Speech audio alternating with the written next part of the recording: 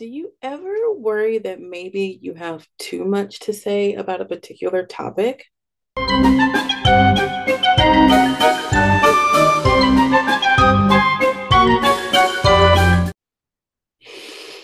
Hmm, that's kind of what I'm faced with the, with this book review video. So if you're new to the channel, I do my Goodreads wrap up video and then I do a book review video.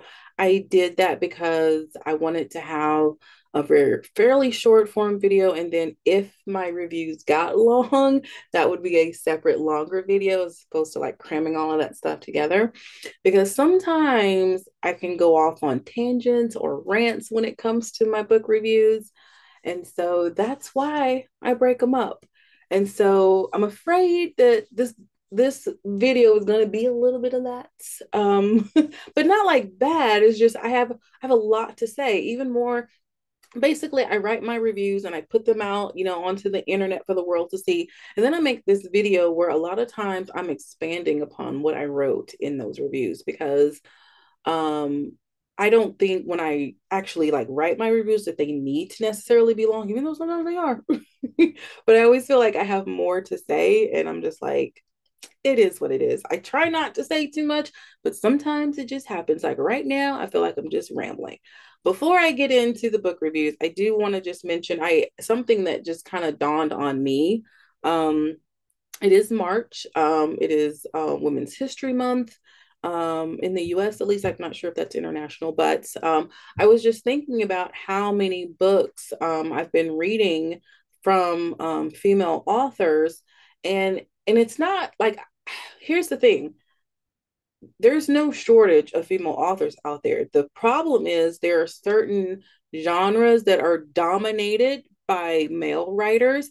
And I just think it's pretty cool that those genres that are traditionally dominated by male writers, I've been reading a lot of female writers like science fiction and horror and things like that. Those are um, uh, genres that have, you know, predominantly been dominated by male authors, unless you're like in a niche. Like I think young adult uh, fantasy, there's a lot of, you know, very prolific female writers in that field. But if you're just thinking just, you know, general adult fantasy, the big biggest names are are male uh, writers. Same thing with like horror, male writers, science fiction, male. And I'm I'm not saying there's anything wrong with that, but what I'm saying is that I'm just kind of patting myself on the back because I've been reading these genres and most of the authors that I've been reading are women. And I just noticed that. Like I'm just like, huh, good on me, I guess. and again, don't get me wrong, I have my favorite um, male authors too in different genres, but I just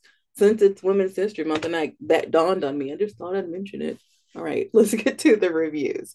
So, um, first thing that I read and completed in the month of February was The Influence of Love, a sweet fantasy romance. This is actually a series. Um, I think um, there's going to be at least three books because I've read the first two and the, I've pre-ordered the third one. So um, this is the first book in that series, and this is a short story series or a novelette series, meaning that it's even shorter than a novella. Like these were quick reads. I picked these out intentionally because I'm familiar with the author, Patricia Josephine, and I when I saw um, her advertise it, well, advertise it, but she wrote about it on her blog, duh. And um, and she said it was like a short series. I was like, wait, what? I needed something short to read, and it was like the perfect opportunity. So here we go. And my review for this is very short, but of course, I'm going to expand on this a little bit. All right, here we go.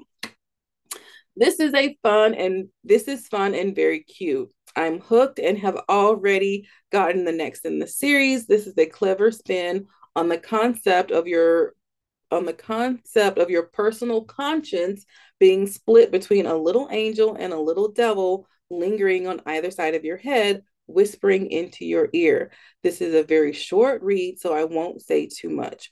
Recommended to fans of good versus evil tales, angels and demon lore, and what if scenarios. So, again, very brief um, kind of review there, very enjoyable. And it is a cute span on this kind of idea that you've seen like old, like Looney Tune cartoons or old um, Tom and Jerry, where you have like the the angel and the devil sitting on the shoulder whispering to the person's ear and so this this is kind of like the basis of this story and this author has chosen to expand upon that like why do we have these um, parts of our um, consciousness being split and you know what what is the purpose of it? And so that's what this series is about. And again this is a shoot super short like read but there is so much packed into it. I'm just impressed with how much this author was able to pack into it so much so that as soon as i finished the first one i was like i got to get the next one. So we'll get to that in just a moment. Overall star rating was a four. All right Next thing I read and completed in the month of February was a collection of short stories by Tyrean Martinson. Um, this is another author that I'm familiar with. I've read some of her um, science fiction. And so this is a collection. It's called 25 Impossible Tales of Survivors, Flawed Heroes, Annoyed Villains, a science fiction and fantasy collection. I gave this an overall star rating of five. And um, here's my very brief review. I thoroughly enjoyed this collection of stories. There are too many for me to give a breakdown of each, but here are a few that really stand out Help Wanted, Code Gray, Shadow Magic, New Answers, 1106, The Time of Now. Plus, there are many more. None of the stories in the collection are bad, but some were more amazing than others. Like I said, I didn't even list all my favorites highly recommended to fans of short fiction, science fiction, and fantasy. So, this is a very eclectic set of stories, all written by the same author, just kind of displaying her talent, basically saying, I got something for everybody here. And if you do like fantasy and science fiction and you can appreciate the idiosyncrasies of short fiction, I think this is a definite like must read. Um, if you're going to be introducing someone maybe to science fiction and fantasy for the first time and they're not ready to dive into like Tolkien, uh, maybe um, try this. so that was um, my only five star read for the month. So let's see what I read next. The next thing that I read and completed in the month of February was Summer of Luck. And this was an IWSG book club read for the month of February, I believe. And um, so, like, we do a member book and we do a nonfiction book. I passed on the nonfiction book this month, not because I think it's bad or anything. I'm just taking a break from nonfiction. It's definitely something that I want to read, but I decided to focus on fiction this month. So, Summer of Luck, overall star rating of four. And this is a middle grade kind of fantasy or magical realism adventure. And here is my review. This was fun and this was a fun and nostalgic read, reminiscent of films like The Goonies and other childhood stories like Pippi Longstocking. The mysterious magic in the story allows the children to go on adventures that help them in many ways beyond providing a thrill. The overall message of the book is a positive one, and I appreciate the approach to diversity and inclusivity it presented. I would say the main reason I didn't give this book a higher rating is the lack of concern portrayed for the characters who go missing for hours at a time without any adults seeming to be aware. Uh, yeah. I remember being a kid and going off without my parents knowing. And when I returned, there was usually someone upset about the lack of safety in my choice to go exploring without letting anyone know where I was. Yeah. um, even the few times my sister snuck out without our parents knowing, she was smart enough to have a backup plan in case something happened. But that concept just doesn't appear in this book.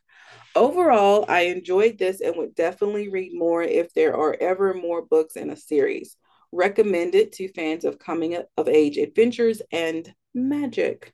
So, yeah, I mean, what can I say? It was a really fun book. I mean, you've got these characters who are very, I think, relatable to pretty much everyone at that at that certain age where you're just awkward, whether you want to be or not, for whatever reason. I love the fact that it's not afraid to address childhood trauma, um, even though it doesn't get too much into it, but you can definitely get this sense of um, kids experience a lot more than people will admit or give them credit for. And so um, it's not just a self-esteem issue. Like everyone, I feel like when they write these stories, it's all about, oh, they just need, you know, a self-esteem boost. It, there can be more to it than that. And I do think this book does a great job of kind of showing that. My only concern was that there was never really a, this thing of where like the adult presence was really felt. And I was like, I don't think adding an adult presence, um, like concern, would have changes. I think it might have actually made it better. Like I think it would have been nice for just one of the camp counselors to be like, "Where do you run off to all the time? How come I can never find you when I need you?" Just something as simple as that. But that was never there, and so there's even one time, and I'm not going to do a spoiler here, where their secret was kind of discovered. But even then, it was like they never took precautions. Like they are literally traipsing around the woods, and like there was never this conversation of what do we do if something goes wrong? Like that just never happened. And so I think that was the only thing that kind of suspended the belief a little bit too much. I mean, I love um, reading a good book and being able to disappear into the world, just escape from reality. But there still has to be something tangible there. And I think that was the only thing lacking from this, which is why I gave it the four instead of a, a higher rating. So the next thing that I read was the follow up to the Influence of Love book. This is Influence book number two. Again, this is the very short kind of novelette series. And um, this review is also very short, but of course, I'm going to expand upon that. So the first one, I gave a uh, overall four star rating. This one too was an overall four star rating, but let's look at my review. Actual rating closer to a 4.5. Another very short read. This one is the second in a series, and it's a little darker than the first, but it's really good. The original concept is still there, but it's getting deeper and more philosophical while still being relatively light. I've pre ordered the next book and can't wait to see where this all goes and what happens next. Highly recommended to fans of good versus evil tales, angels and demon lore, and what if scenarios. So, the concept that was basically developed in the first um, short story or novelette is expanded upon in the second book but you begin to have more i guess consequences to this idea of why your consciousness would be split between this kind of idyllic um, perception of good versus evil and then what um, this whole reason about why these entities exist and their purpose in the world. And the title for this one is perfect. It's all about balance. And that's all i'll say without giving spoilers.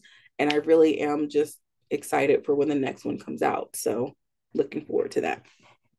And the last thing that I read in the month of February was something that I started. I can't remember if I started it in December or if I started it in January, but it was one of those months where it was a book club read that I DNF'd with the purpose of coming back to it. But at the time that I DNF'd it, I didn't know if that would be months down the road or weeks or what. Um, I didn't have an expectation to come back to it, but when I finished my goal reading for the month of March, and I was kind of ahead of ahead of myself, I was like, well, I actually have time to go back and read that book. So that's pretty much why it happened. Like I, I hadn't expected to go back and finish it. So what I did when I first started reading the book, I read the first seven chapters, but I was not paying attention to what I was reading. I was really just kind of being very mechanical about it, going through the motions because I felt obligated to read it for my book club. And I'm never going to do that again. I'm never going to read something out of obligation, which is why I'm taking a break from um, from nonfiction right now. Um, and so I wanted to go back and read the book when I was choosing to read it, basically, so that I would be able to um, either enjoy or not enjoy it based upon how I felt, not because I was doing it because it was expected. And so I mentioned this in the previous um, Goodreads um, wrap up video that I kind of sped read through the first part to get caught up and then finished it. So in my video last month, I gave um, a little snippet about the whole DNF thing. So I'm not going to reread that, but even though I did keep it as part of the review, I'm just going to pick up where the actual review of my completed experience of reading the book is. And so this was updated on um, February 28th, 2023, because that's when I posted this. And so I did give it an overall star rating of three. And so let's see what I wrote. This is a tough book to review. There are many elements of the story I adore. There are some elements of the story that don't do much for me, and there are some elements that I just didn't like. To me, this book reads like a YA novel, but the characters are adults. I suppose it could be a new adult book, but I'm not sure of, of either. Um, uh, these are these are not two genres that I read a lot, so my experience may be marred simply because of my personal issues with the genre, not the story itself. So again, if you followed this channel at all, you do know that YA is one of those genres that either works for me or it doesn't. It's a very difficult um, genre for me to just kind of love. I'm very apprehensive about when I read YA. So some of the experience that I have or reading it might be reflective of that, even though this book is not classified as YA. I mean, the characters in the story are adults. So again, maybe it's more in that classification of new adult, but again, I don't read a lot of that either. So it's difficult to say, but that's how I felt when I was reading it. I felt like it felt like reading a YA book, even though the characters were adults. All right. Overall, I love the concept of the story and the fantasy attributes of the characters. I'm interested to know where this is all going to go and what ultimately happens to this world. However, I don't really like any of the characters. It's possible there is an element of mental illness that is being subtly addressed, but if so, I wish it was more clear. It's difficult to get a handle on whether I'm supposed to like or dislike these characters because they all seem to be gaslighting me. There are many contradictions in what characters say, do, and mean from scene to scene. So, again, this is just my experience that I'm kind of explaining here. I've heard other people say great things about the book. For me, it just seemed like a lot of the things that they were saying and doing were contradictory. Um, and again, uh, if you don't want spoilers, I would probably look at the little timestamps below and move forward because I'm going to give just a few, just minor spoilers, nothing too specific. But there's basically um, these characters characters who meet online and develop like this friendship. And so at one point, the the character who lives on the East Coast offers to like come and see the person who lives on the West Coast. And they're like, no, we just met, we're strangers, that kind of stuff. And then later on, they begin to they have like this relationship that's kind of forbidden because the one character is um it lives in like in a Mormon society where things, you know, certain things aren't done. And so it's like the this person who lives on the east coast and the mormon person lives on the west coast basically willing to like drop everything and come to see this person and then this other person says i'm going to marry someone else. So basically saying you can be my friend but that's all you can be. And then later on when this person like needs something from the person on the east coast they expect that person to drop everything that they're doing and come see that person. Even though at that moment that it's happening, the person is like, I am literally trying to help someone, like physically help someone. And this person is just like, I'm not important to you because you won't leave this person in distress and come to me. It was just very, it was just a, a level of drama that I'm just not comfortable with. I was just like, it, it just seemed like a lot of things that just didn't make sense to me and again because i don't read a lot of, of this kind of stuff so maybe i'm just not used to it so i don't know i just thought and, and there were there's other things that's that, that was just like one example but there were things that they would like say and do in one scene and then um, in the next scene it was kind of like they would they would flip it it just didn't it just didn't make sense to me there was the character on the on the east coast was constantly pining for this other character but then having like just random sex with other people. And again, that's not unusual, unfortunately, in this day and age. But I'm just like, if you had such these intense, strong feelings for someone, why how would you be able to like just have these other encounters? I feel like if you were maybe trying to forget that person or you know what i'm saying? Like when your heart's broken or something and you go out and you do crazy like that would make sense but that's not really the dynamic. It was more of like i'm just gonna keep doing this until this person comes. And so i don't know. It just it was just a lot that just didn't and i haven't even finished reading the review so i'm just kind of going on about some things that were just didn't make sense to me. And, and and I'll mention one other thing before I get back to the review. I, I started out by saying that these people met online, and I found it strange that the way that they originally met was through like an online um like um RPG. And after they became like friends and began to have like this weird relationship, you never hear about the RPG again, like from either character. Like the, the character on the West Coast was it was just kind of his way of like getting over something and then he met this person and he was done with it and that made sense. But that was like part of her like daily life, her culture or whatever. And then that her character never mentioned role play again after that. It was like and all of the stuff that she was going through, I figured at some point she would be on her computer trying to you know play these games to forget about the drama with the person. I don't know. It just it, it's just too many questions for me to process. Like when i read something i either get it or i don't and i'm thinking i think i think i'm just not getting it. And the thing is it's not bad. I don't think i just think i don't get it. I don't know. I just i don't know. I'm going to finish reading the review. Okay so where am I? Okay. The mature sexual content didn't really work for me. I'm no prude, but some of it seemed pointless and was more of a turn off instead of a turn on, but that could just be me.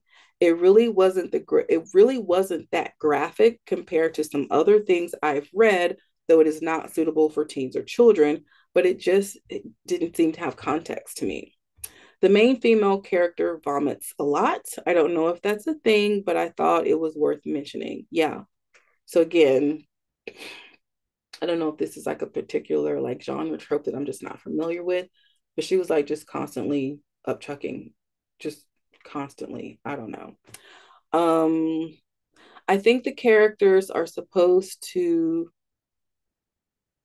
represent cultural diversity, but I had a difficult time pinpointing the characters' cultural, racial, and or ethnic identities. I know the main female is a US Mormon and the main male is of European descent. So that part again was confusing. I felt like the characters were described in a way that what they were supposed to be like kind of distinct in a way, but it was still very vague.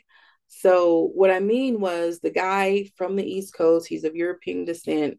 And so the girl on the West Coast, we know that she's a Mormon, like that's part of her character. And I believe um, she mentioned that she's of Irish descent because there was a couple of times where they kind of talked about maybe going to Ireland one day. And then for him, I can't remember if it was supposed to be like Dutch or German or Norwegian, something like that. Um, but again, there wasn't a whole lot of emphasis on that um, kind of cultural background. Then there are the other characters also, which I'm not, I'm not even going to try to get into them, but I feel like they were all each had like these different things that may that were maybe supposed to be culturally significant about them, but I couldn't figure out what they were. But again, maybe I'm just trying too hard, reading too much into it. Maybe that wasn't the thing. Maybe I was just trying to pick up on something, but I don't know. Um, so as far as I could tell, the main the diversity that existed was um, the Mormon culture versus the non-religious culture, and then her being of Irish descent, and then him either being like German or Norwegian or something like that, and that's fine. I mean, those are very different, you know, cultures. So, um, but I just felt like I was missing something. I don't know. I just I just felt like there was supposed to be something else there that I wasn't picking up on. And I kind of wanted to because the other like two characters, the guy who lives on the East Coast, he has these two friends. And I felt like maybe there was something about the two of them, but I don't know. All right, I'm gonna get through this, I promise. Um, let's see here. I think I have more questions about these characters than I should after reading this book. This book ends on a cliffhanger, which I usually don't like, but I don't think it made a difference to my overall experience. So, yeah, usually if I'm reading a book and I'm enjoying it and it ends on a cliffhanger, I'm just like, no. but this book ending on a cliffhanger was, it was like perfectly in line, I guess, because I was already so confused that ending the way it ended just just kept me in the same state of it didn't make me more confused. It was just like yeah that's where i am. Like i understand that it ended that way. I don't i don't have a problem with that. Um i think it's fitting especially since i know there is a second book. And so um the cliffhanger ending had like no bearing on my overall experience. I was just still very much confused about the characters and i yeah I, I don't know. And lastly It says, I believe the second book is out or will be out soon, and I'm still deciding if I should pick it up. I really do enjoy the sense of danger depicted, the magic, and the mystery of the world. A follow up read is to be determined. So, even though I'm having this internal struggle with what's going on with the characters, the overall story is, is like, you know what I'm saying? Like, stories don't just have one plot, they have multiple plots. And so, the plot about their relationship is just bananas cuckoo's crazy to me right now. Like I just am not processing this relationship stuff at all. But the rest of the stuff is pretty good. I mean, the concept of the existence and the magic and the mystery and these people who are after them and the cliffhanger ending, like all of that stuff is good. So giving it a three star review and talking about it this way, I don't want anyone to think like, oh, I'm not going to pick up that. No, maybe you should because you might get it just because I don't, don't mean you won't. so that's where I am with fractions of existence. Like I said, part of me wants to pick up the next book, but I'm also like, I don't know. I, I don't want to pick up the next book and be even more confused and not like it. But then what if I pick it up and things are clarified for me and I absolutely love it? I don't know. I'll have to see. It's, it's a toss up at this point. So that is what I read in the month of February. I am ahead in my Goodreads challenge, and we will see what the month of March has in store for me. Uh, I would love to hear what you guys are reading. Um, love love to know what you think about some of the things I've read. Have you ever read a genre of a book and you felt like you were reading something else? Like, have you ever read, you know, a science fiction book, but you felt like it was fantasy? Have you ever read a romance and you felt like it was um, just more contemporary. Like, I don't know, but I feel like I was kind of in this jostle of reading something that I perceived to be adult fiction, but as I was reading it, it felt like YA. And that's already a genre that I struggle with. So, anyway, that's what I have, guys. Sorry for rambling. That's the whole point of having these book review videos that if they wrong long, you have the option to kind of, you know, skip through that um, and just focus on the other video. So until next time, guys, stay safe and be blessed. Hey, guess what? If you like what you see, you can totally subscribe to this channel. You could also give it a like and leave me a comment. I would totally love that. Okay, bye bye.